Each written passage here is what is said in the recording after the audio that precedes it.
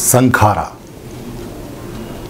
ये जो शब्द है या जो वर्ड है संखारा या संखार, ये कोई नया शब्द नहीं है। ये बहुत पुराना शब्द है और अगर इसको कहें कि ये पाली भाषा का एक सबसे जानदार शब्द है तो इसमें कोई बड़ी बात नहीं है। आपने सुना होगा इधर मेरे एक मित्र थे, एम एल संखवार। वो बी एस एन एल में थे। तो उनका नाम जब संखवार बोलते थे तो मुझे लगता था कि संख जो बजाते हैं, जिसमें से आवाज़ आती है, कुछ उससे संबंधित होगा। बहुत पुरानी बात है। मगर जब संखार का मैंने अध्ययन किया तो मैंने पाया कि वो सारे लोग वही पुराने पाली के, वही पुराने बुद्ध की संस्कृति के लोग हैं, जो सारे के सारे संखवाल या शंखवार हैं।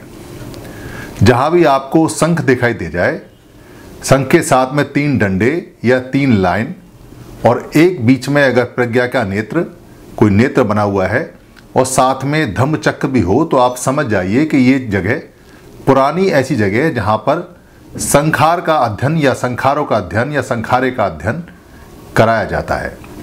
संखार जो शब्द है, उसको बाद के जो संस्कृत भाषा है, उसमें संस्कार बोला जाता है। जैसे कहते हैं शंख फूक दिया। अब शंख का फूकना क्या होता है? शंख में फूंक मारकर आवाज़ निकालना शंख का फूकना नहीं है। बेसिकली अपने जो संखार हैं, उनको निकालना, उनको जड़ से ख़त्म करना, उसका मतलब है शंख को फूकना। तो सबसे पहले ये समझिए कि जो संखार होता है या संस्कार होता है, वो है क्या? जब भी आप कोई काम करते हैं या कोई चीज़ देखते हैं, या कुछ सुनते हैं, या कुछ चखते हैं, या किसी चीज़ का स्पर्श करते हैं। तो उसके जितने भी गुण होते हैं, जैसे आपने चखा तो वो खट्टा है, या मीठा है, या तीखा है, या फीका है, आपने छू के देखा तो मुलायम है, वो सख्त है, या दबदबासा है, लिबलिबासा है, या आपने सूंघा तो वो आपको सूंघने में अच्छा लगा, तीखा है, या हल्का है, या स्मेल वाला है, खुशबू वाला है, या बदबू वाला है आपने देखा तो आपने देखा कि वो दृश्य कितने रंगों का है, कितनी उसकी आकृति है, कितनी लंबाई है, कितनी चौड़ाई है, कितनी गहराई है। या आपने उसको अगर सूंघा तो सूंघने के बाद में आपने देखा। ये जो स्पर्श, यानी कि आप जो से टच करते हैं या देखते हैं या सूंघते हैं या सुनते हैं या चखते हैं, ये सारी की सारी जो इन्फॉर्मेशन है, वो सारी इन्फॉर्मेशन डिजिटलाइज होके डिजिटल में चेंज होके वाइब्रेशन में चेंज होके और वो बॉडी के अंदर स्टोर हो जाती है। जो स्टोर हो जाती है, उसको बोलते हैं संज्ञा, यानी संज्ञा, यानी मेमोरी और जब वो फ़ाइल के साथ में हम अपना एक निर्णय जोड़ देते हैं, एक मन जोड़ देते हैं, या पहले से हम उसमें ये जोड़ देते हैं कि ये अच्छा है या ख़राब है, या ये हमारे लायक है या नहीं, या अच्छा है ना ख़राब है, या ख़राब भी है और अच्छा भी है, दोनों बातें, तीनों बातें जब उसमें हम जोड़ देते हैं तो वो पूरी का पूरा जो सिस्टम या फ़ाइल बनती है, उसको संखार बोलते हैं। यानी जो संखार है, संखार वो फ़ाइल होती है शरीर के अंदर, वो इन्फॉर्मेशन होती है, उस इन्फॉर्मेशन का बंडल या उसका ग्रुप या उसका समूह होता है, या बहुत सारी इन्फॉर्मेशन इकट्ठी होकर एक साथ होती है, जिसका हम एक नाम रख रखते हैं। जानवर इसका नाम नहीं रख पाते, मगर वो पहचानते हैं। जैसे खाने का सेब है, एक बार हम सेब को जब हम खाते हैं तो खाने के बाद में उसका नाम सेब रख रख देते हैं, एप्पल रख देते हैं और फिर हमें एप्पल के सारे गुणसूत उसके नाम से पता चल जाते हैं। तो हमें समझ में आ जाता है कि हमको ये खाना है या नहीं खाना है। ये हर एक व्यक्ति के ऊपर अलग निर्भर करता है। ऐसे ही जो जानवर होते हैं, जब वो चलते हैं, फिरते हैं, घूमते हैं, खाते, पीते हैं तो उनकी मेमोरी के अंदर, उनके शरीर के अंदर वो सारी जानकारी स्टोर होती रहती है, उसको संखारा बोलते हैं, जब वो अपना मन जोड़ देते हैं, उसमें कि ये चाहिए चाहिए चाहिए, या ये नहीं चाहिए नहीं चाहिए नहीं चाहिए, या चाहिए भी और नहीं भी चाहिए। तीन बात उसके अंदर होती हैं। तो उसको संखार बोलते हैं, यानी कोड ऑफ़ फॉर्मेशन यानी कि जो एक्ट आपने किया है, उसका एक्ट का फॉर्मेशन का कोड यानी जो एक्ट सारा हुआ है, उसका एक नाम बन गया। इसको आप ऐसा समझिए जैसे आपके हाथ में जो मोबाइल है मोबाइल में अगर कोई चीज़ आप स्टोर करते हैं, कोई फ़ोटो खींचते हैं या कोई साउंड रिकॉर्ड करते हैं या कोई फ़ाइल उसमें सेव करते हैं तो वो कोई नाम मांगती है, उसके बाद में वो अपने गुण के साथ में वहाँ जमा हो जाती है और उस खाने में चली जाती है, जैसे फ़ोटो वाला फ़ोटो गैलरी में चला जाएगा, जैसे साउंड वाला साउंड गैलरी में चला जाएगा। तो वो सारे वहाँ जाके स्टोर हो जाते हैं, फिर आपको सिर्फ़ उसका नाम टाइप करना होता है और वो निकल के बाहर आ जाती है अपने गुण के साथ में। ये सारे के सारे संकार, यानी संस्कार बोलते हैं इनको। और जब इनकी एक चैन बन जाती है तो उसको संखति बोलते हैं या संस्कृति बोलते हैं। यानी लगातार वही बिहेवियर पैटर्न रहेगा तो उसको संस्कृति बोलते हैं या संखति बोलते हैं। ये संखार जो होता है, बहुत साधारण होता है। संखार बनता कैसे है, इसके दो तरीके होते हैं। एक तरीका तो वो है जो हम पूरे दिन में जो काम करते हैं और जो काम देखते हैं। उसमें पाँच चीज़ें मिलके एक संखार बनाती हैं। पाँच चीज़ें कौन कौन सी हैं? एक है उसके अंदर रूप। अगर आपने नाम रूप वाला वीडियो देखा हो तो आप देख लीजिए, उसमें जो रूप है, रूप बोलते हैं फ़िज़िकल मटेरियल को। यानी कि जो पदार्थ जितने भी अवेलेबल हैं, उन सारे पदार्थों को दुनिया में जितने भी, जो वज़न रखते हैं, जो जगह घेट घेरते हैं, वो सारे के सारे पदार्थ रूप में आते हैं। हमारा जो शरीर है, वो रूप में आता है, जानवर का शरीर रूप में आता है, पेड़ जो है, रूप में आता है, या किताब है, या ज़मीन है, या पानी है, या आसमान है, ये सब रूप में आते हैं मटेरियल में आते हैं। और इसमें चार चीज़ जो जुड़ी होती हैं, वो होती हैं इसमें मन। यानी मन जो बना होता है, वो चार प्रकार की चीज़ों से मिलकर बना होता है। कैसे बनता है? मन का कोई वज़न नहीं होता, मन कोई फ़िज़िकल चीज़ नहीं है।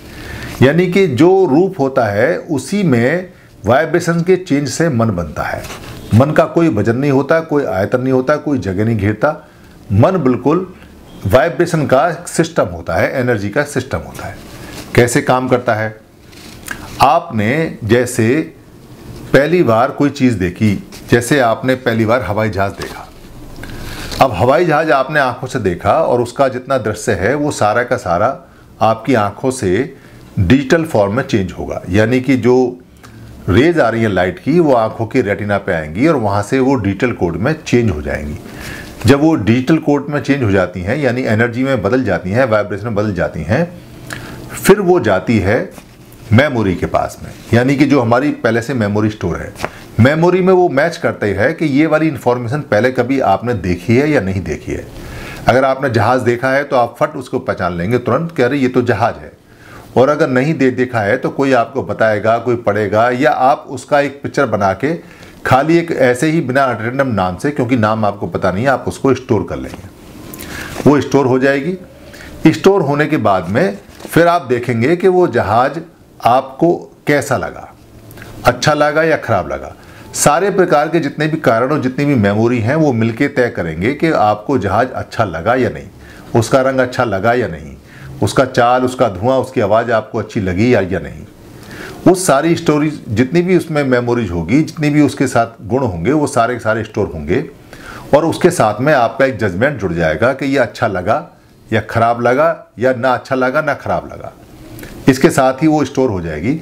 वो जो स्टोरेज होता है, उस पूरे स्टोरेज को बोलते हैं संखारा। अब वो संखारा बन गया। और ये संखारा जब बहुत ज़्यादा गहरा हो जाता है और बार बार रिपीट करते हैं इसको तो ये बनता है वियाणा यानी विज्ञान। तो जो ये चार चीज़ हैं जिसके अंदर एक आपका रूप हुआ, जो इसके अंदर पूरा शरीर आता है, और चार चीज़ मन हो गई। मन के अंदर आपने सबसे पहले देखा उसको। देखने के बाद में वो सारा का सारा डिजिटल फॉर्म में होके आपकी मेमोरी में गया।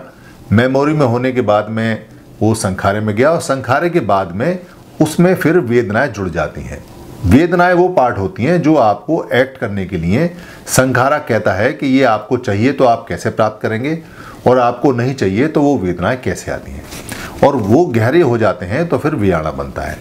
ये चार चीज़ के कॉम्बिनेशन से, यानी कि वेदना संया संखारा और वियाणा ये चार का कॉम्बिनेशन होता है और प्लस रूप, पाँचों को मिलके पंच स्कंद बोलते हैं, यानी पाँच चीज़ों का समूह बोलते हैं। इस पाँच चीज़ों के समूह से बनता है पूरा का पूरा संखारा, जो आपकी बॉडी में एक्टिवेट होता है। ये दिन में लगातार हज़ारों बार बनता रहता है, हज़ारों बार ये बिगड़ता है। यानी ये ख़त्म भी होता रहता है, ये बनता भी रहता है। जैसे आप मोटरसाइकिल लेके अगर सड़क पर चलाएँगे तो सड़क पर जितने भी दृश्य आपने देखे हैं, वो सारे दृश्य जब आप जहाँ मोटरसाइकिल रोकेंगे, या हैंड टू हैंड वो ख़त्म होते रहते हैं। यानी कि वो आपकी स्टोर नहीं होते, बहुत ज़्यादा गहरी मेमोरी में नहीं जाते, आपके माइंड में वो छाप नहीं छोड़ते, वो सिर्फ़ बनते हैं और बिगड़ जाते हैं, बनते और बिगड़ जाते हैं। मगर अगर कोई ख़ास बात बीच में हो जाए, कोई एक्सीडेंट हो जाए या कोई गड्ढा आ जाए या कोई जगह जानी पहचानी आ जाए जो पहले से आपकी मेमोरी में स्टोर है तो वो और ज़्यादा मज़बूत हो जाएगी। या जिसको आप कहेंगे कि ये मुझे याद रखना है तो वो गहरी मेमोरी में चली जाएगी। दूसरे तरह का जो संखारा होता है, वो होता है जो बर्थ के साथ आता है और पहले से ही हमारे शरीर के अंदर होता है, जानवर में भी और हमारे अंदर भी। उस संखारे को अपना जितना भी कर्म है, वो भोगना होता है। यानी जो संखारा कमांड लेके आया है हमारे शरीर में, संखारा कुछ ना कुछ कुछ ना कुछ लेके आता है और उसने जैसा जैसा वो सॉफ्टवेयर लेके आया है और जैसा प्रोग्राम वो लेके आया है, उस प्रोग्राम को वो एक्टिवेट करेगा ही। ऐसा नहीं हो सकता कि संखारा जो बर्थ के साथ आता है, वो बिना एक्टिवेट हुए ख़त्म हो जाए।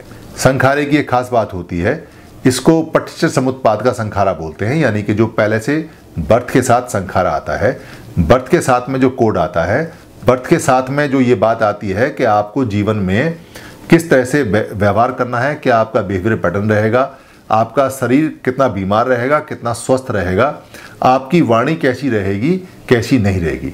यानी कि ये मन से, काया से और वचन से तीनों प्रकार से एक्ट करता है। इससे छुटकारा नहीं होता। यानी जो बॉडी के साथ में जो जब हम पैदा होते हैं, उसके साथ में जो संखारा बॉडी के अंदर आता है, जो मन बॉडी के अंदर आता है, जब तक वो पूरा एक्ट नहीं होगा, जब तक आप उसे भोग नहीं लेंगे, वो किसी भी हालत में आपका पीछा नहीं छोड़ेगा। वो अच्छा भी हो सकता है, वो खराब भी हो सकता है। यानी कि वो पुण्य वाला भी संखारा हो सकता है और पाप वाला भी संखारा हो सकता है। तो संखारा अगर पुण्य का है तो आपको जीवन में सुख देगा, आपका शरीर स्वस्थ रहेगा। आप बोलेंगे अच्छा आप सोचेंगे अच्छा आप बिल्कुल अच्छी तरह से रहेंगे। और संखारा अगर वो पाप कर्मों का है तो आप बीमार रहेंगे, आप परेशान रहेंगे, आपकी वाणी खराब खराब रहेगी, यानी मन से, वचन से और कर्म से आप पूरी तरह से परेशान रहेंगे। ये जो संखारा होता है, ये बावन प्रकार का संखारा होता है। यानी बावन प्रकार से आप बिहेव करते हैं और बावन प्रकार से बिहेव जो बताए हैं, भगवान बुद्ध ने 128 प्रकार के कारणों से मिलकर बनते हैं। यानी सारे जितने भी कारण हैं, वो टोटल मिला के 128 कारण है और 128 प्रकार से के कारणों से बावन प्रकार का मन बनता है, यानी बावन प्रकार का संखारा बनता है जो आपके शरीर में एक्टिवेट हो जाता है। अगर आप ध्यान देंगे, एक माँ के पेट में अगर दो बच्चे हैं और जो बिल्कुल ट्विन हैं, एक से हैं, और दोनों ही मेल या फ़ी फीमेल हैं। दोनों का रूप रंग एक सा है, सारी बातें उनकी एक सी हैं, मगर उनके व्यवहार बिल्कुल अलग अलग होते हैं। यानी जितने भी परिवार के अंदर मनुष्य हैं, बेशक उनके माँ बाप एक से हैं, माँ और बाप सेम हैं खाना पीना सबका सेम है, मगर अगर परिवार में पाँच बच्चे हैं छः बच्चे हैं, चार बच्चे हैं, दो हैं, उन सबका व्यवहार बिल्कुल अलग अलग होता है, जो उनके बर्थ के संखारे के हिसाब से आगे काम करता है। संखारे खत्म किए जा सकते हैं आपके जीवन में। अगर आप मनुष्य हैं तो मनुष्य जीवन में संखारे खत्म हो सकते हैं, जैसे बुद्ध ने किए, जैसे अरत लोगों ने किए। संखारे बढ़ भी जाते हैं, जैसे जैसे आप एक्ट करेंगे, विपसना में आप देखेंगे कि संखारे किस तरह से काम करते हैं और संखारे किस तरह से एक्ट करते हैं और जीवन को कैसे प्रभावित करते हैं। संखारा यानी जो संस्कार होते हैं या बहुत सारे जो संखारे होते हैं उनका प्रभाव जीवन पे हर समय रहता है। जो संखारा हमारे शरीर में टेम्प्रेरी बनता है वो ठीक ऐसे होता है जैसे समुद्र के समुद्र के किनारे या नदी के किनारे जब आप रेत पे एक लकीर खींचते हैं तो वो लकीर समुद्र का पानी आने के बाद या दरिया का पानी आने के बाद नदी का पानी आने के बाद रिवर का पानी आने के बाद मिट जाती है। यानी कि वो लक, संखारे बनते हैं और मिट जाते हैं। उनका ज़्यादा गहरा असर नहीं पड़ता है। दूसरे तरह के जो संखारे होते हैं, वो लगभग ऐसे होते हैं जैसे आपने पक्की मिट्टी की खेत में बनाए हुए होते हैं। उनको निकलने में, हटने में थोड़ा समय लगता है। और कुछ संखारे ऐसे होते हैं जो पत्थर के ऊपर लकीर के समान होते हैं, जिनको जाने में बहुत मेहनत करनी पड़ती है और बहुत ज़्यादा देर से वो जाते हैं, जो परमानेंट जैसे संखारे होते हैं। मगर संखारा कोई भी परमानेंट नहीं होता। जो हमारे सेंसिस से संखारे बनते हैं। यानी कि हम पूरे दिन जो सेंसिस से संखारे बन, बनते हैं वो सेंसिस के ख़त्म होने के बाद ही अपने आप ख़त्म हो जाते हैं। जैसे हमने पूरे दिन के अंदर या महीनों में या सालों में जितने संखारे बनाए हैं आँख से नाक से कान से मुँह से जी से या शरीर से तो ये संखारे हमारे सेंसिस के हमारी बॉडी से बनाए हुए संखारे होते हैं। ये अगर व्याणा में ना बदलें और गहरे संखारे ना बने तो ये हाथ के हाथ चले जाते हैं। इनमें जो गहरे बन जाते हैं, वो भी बाद में निकल जाते हैं। जैसे कोई व्यक्ति है और किसी व्यक्ति को बहुत ज़्यादा पैसे का लालच है तो पैसे के लालच का जो संखारा है, जो संस्कार है, वो day by day day by day day by day वो उसकी प्रैक्टिस करता है, वो रिपीट करता है और वो और ज़्यादा लालची और ग्रीडी होता जाता है। यहाँ तक कि वो पैसे को लेके बेचैन और बीमार भी हो जाता है और डिप्रेशन में भी जाता है, जहाँ उसकी डेथ की फ़ाइल खुल जाती है और वो उसी में चला जाता है।